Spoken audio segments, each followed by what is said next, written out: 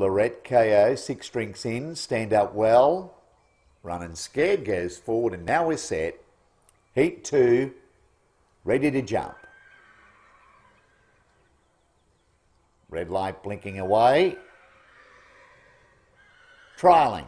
Field of four jumpers, one. The first to break the line, six drinks in, goes to the front. Shows the way by a length. KO second, now three deep on the track going forward, running scared. Lorette went back to the end. They leave the 700 metre mark behind them.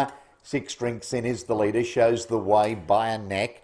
Running scared, running second, three lengths away third, then uh, KO and three off last of all, Lorette. Six drinks in and running scared are together as they come to the corner with 450 to go.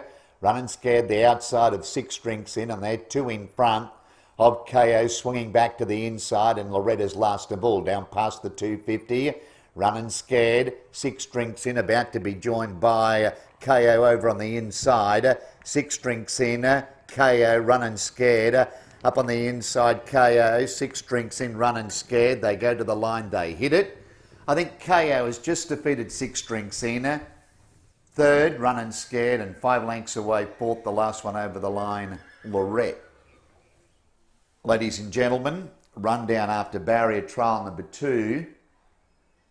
Numbers three, four, six, one. Three KO, the winner of the trial, a four-year-old chestnut gelding by Ready for Victory at a zero visibility.